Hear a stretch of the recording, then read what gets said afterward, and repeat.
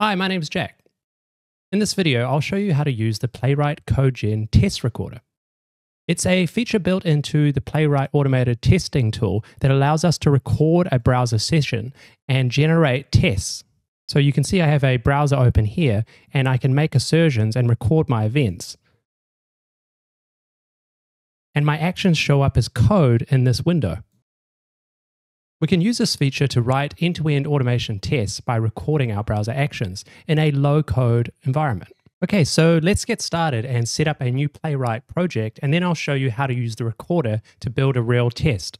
So in a new terminal window, I'm just going to type in npm init playwright. And this will ask us a few questions. We'll just say yes on all these.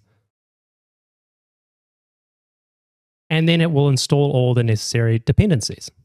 Now, in order to start the Playwright recorder and record a test, we can simply type in npx playwright codegen and then an address of a server or website we want to test. So here I'm going to open up a test application.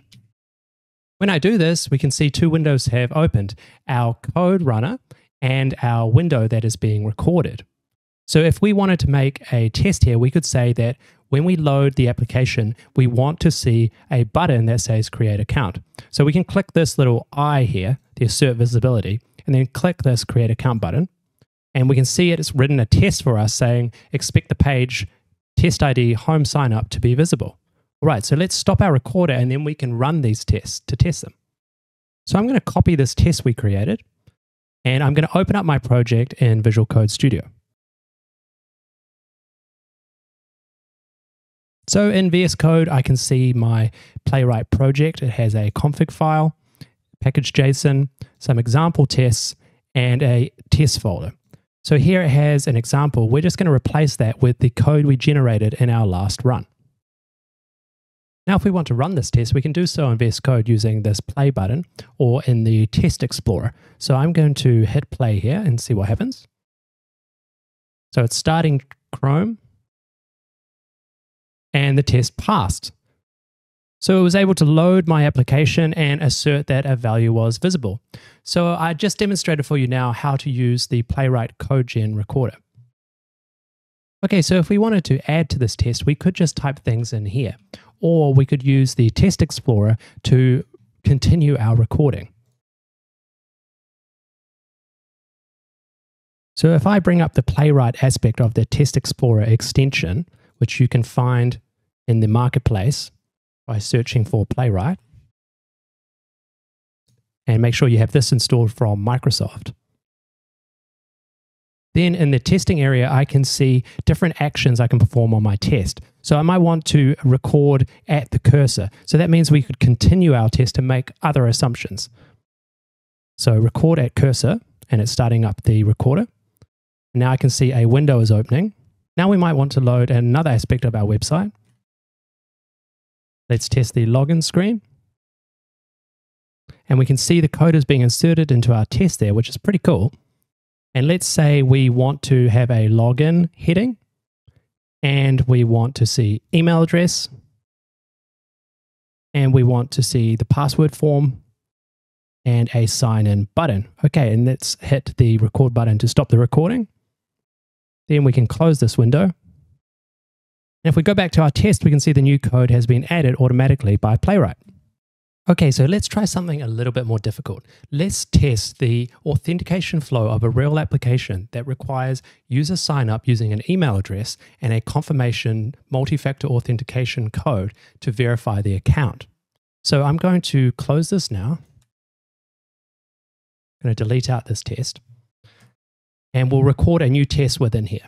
So I'm going to click uh, record at cursor and it's going to open up Playwright for me.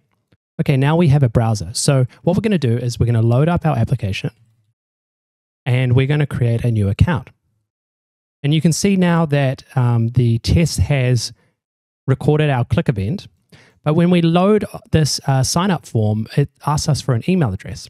Now, if we were to provide our own email address, we'd have to then open our email account somehow, get the code, and submit the code to validate this user. But we can't do that in an automated test.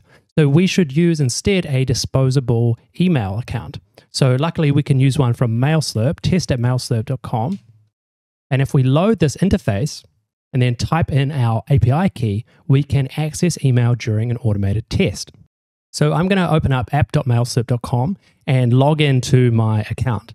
And when I do that, I can see an API key in my MailSlurp dashboard. So I'm going to copy that and we will just minimize that. And back in the test interface, I'm going to add my API key like that and log in. Okay, so now we are looking at a disposable email account and we can copy this value here and use it for our sign up process. So I'm going to click copy. And I'm just going to open up some notes as well that we can use throughout our testing. We'll put this here and we will just paste in, that's our email address. But we're going to automate this later. That's just for our own notes. And now let's go back to our test application. We'll load the sign up page. Now let's paste in our email address and we'll use a password. We'll just use password like that. Sign up. Okay, so it's presented us with a confirm screen. So we might want to just make an assertion that uh, the confirm heading is shown. And now we can enter our code and email address. But how do we get this code? Okay, so what we want to do, we'll just copy that value, put that there, and we want to open up our inbox again. So if we go to test.mailslurp.com, load that, we can see our email has arrived. Let's click that and inside the email, we can see our confirmation code. But we need a way to extract that in a repeatable way. So we're going to click extract codes here.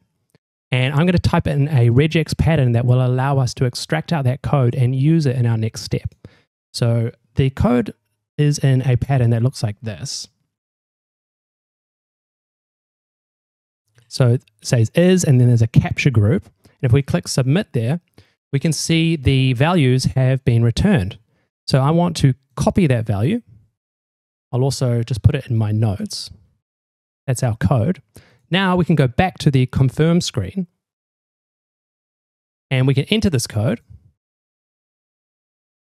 and our email address from the notes and click confirm. Voila, now we can log in. So our account has been confirmed and we can log in and our password was just password. Click sign in, and we see the dashboard. And finally, we can make an assertion in our test that we can see the it all looks strawberry text. Wonderful. Okay, let's stop the recorder. Okay, so this is our test now. So let's go over it line by line and see if we need to fix anything before we run this test and test our application end to end. So we can see that it's loading the test application um, here to begin with. It clicks on sign up and then it loads the test mail slurp interface. So we might want to just um, delete these steps because they're not really necessary. We can start on the test interface. Then you can see here it's clicking the API key and it's filling out our API key. So that looks good. Uh, next it clicks submit and then it copies the email. So we want to get that copied value out of the clipboard and assign it uh, to a variable. And we can do that.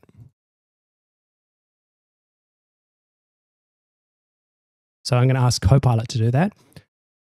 Get the clipboard value and assign to a variable called email address.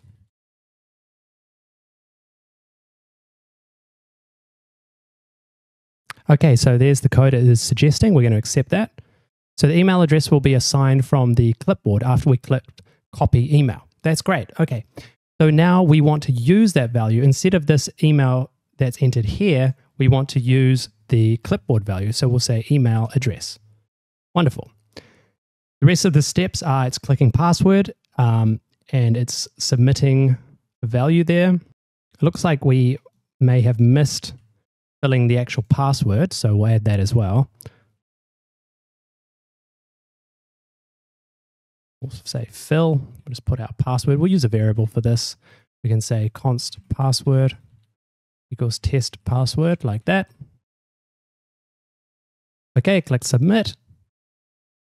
We're making an assertion about the heading. Then we load the test interface and we wait for email zero or the first email. We click the codes tab the regex input, and then we fill this regex to extract the code. We click submit, and then it will click the copy field for that code. So again, we want to assign the uh, value in the clipboard to a variable. So if we go to this line here, and we'll say code, great. Then we are loading the application confirm screen. We're filling in the code. We want to replace that with a variable. And we're filling in the email address again. So this one, we want to use email address. Same here for the login screen. And then we submit the password. We want to type in the actual password. So we'll say password. And then we click the submit and we make an assertion that it all looks strawberry.